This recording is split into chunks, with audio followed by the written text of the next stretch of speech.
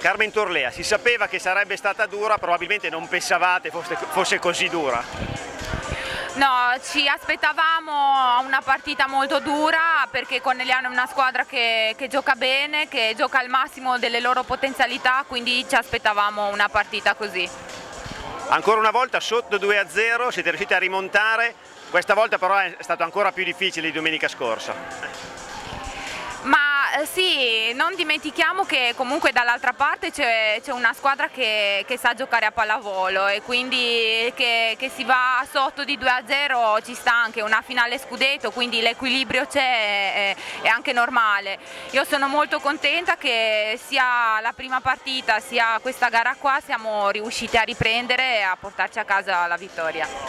In svantaggio anche 7-3 nel tie break, probabilmente ci credevate solo voi è quello che è importante. Adesso giovedì avete la prima possibilità di chiudere il discorso scudetto. Sì, speriamo, incrociamo le dita.